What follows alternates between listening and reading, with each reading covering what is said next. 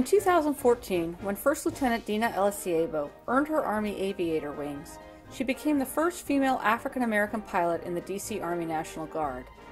Already certified to fly with an FAA commercial pilot's license, graduation from the initial entry rotary wing flight school at Fort Rucker, Alabama, placed her in an elite group of Army aviators.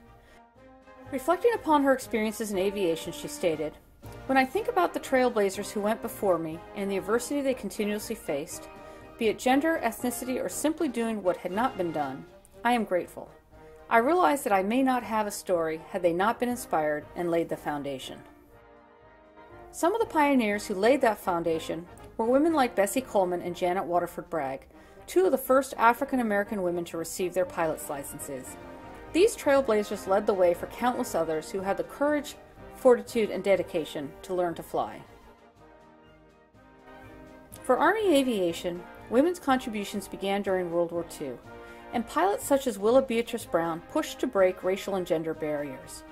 Brown was active in the Civil Air Patrol and served as the coordinator of the War Training Service for the Civil Air Administration. She was also the director of the Coffey School of Aeronautics, which became critical in paving the way for African American aviators in the Army Air Force's program at Tuskegee Institute. Several qualified black aviatrixes applied to the Women Air Force Service Pilot, or WASP, program, which consisted of a group of women contracted by the military to ferry aircraft and train pilots. But none were accepted because of their race. It would be almost three decades later when the military would allow female aviators in its ranks. For Army women, the official invitation to sit in the pilot seat came in 1973 when then Army Chief of Staff General Creighton Abrams directed that women be trained as aviators. A few years later, in 1979, Lieutenant Marcella Hayes became the first African American female to receive aviator wings in the United States Army. After graduating from the University of Wisconsin as the highest ranking cadet in her class, Hayes was commissioned in 1978 and completed her helicopter flight training a year later at the U.S. Army Aviation Center. She served 22 years and retired as a lieutenant colonel. Many other women followed. Warrant Officer Janet Flowers was the first African American female to graduate from the Warrant Officer Rotary Wing Aviator Course at Fort Rucker, Alabama in 1982. A few years later, after the 1992 decision was made to open combat aviation to Army women, Christine Knighton was in command of a tactical combat arms unit in the 1st Cavalry Division at Fort Hood, Texas. Colonel Knighton went on to retire after a 29 year Army career. Lieutenant Colonel Rose Fitchett was the Army's first African American flight surgeon.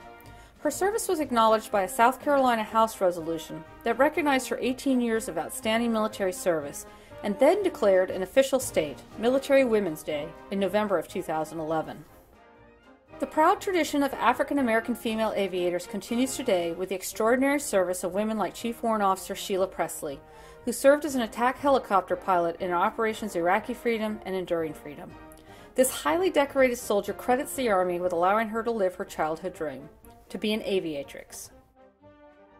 Justice Lieutenant Elisiebo is grateful for the aviators that laid the foundation for her the Army Women's Museum proudly salutes the service of African American female aviators in the United States Army.